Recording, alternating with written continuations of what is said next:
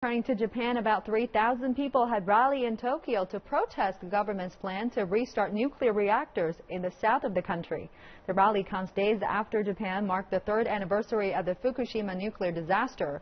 On March 11, 2011, a 9.0 magnitude earthquake hit northern Japan, triggering a tsunami that devastated the Fukushima nuclear plant. Protesters have criticized the government for not effectively controlling radiation levels and for hiding information regarding the scale of the incident.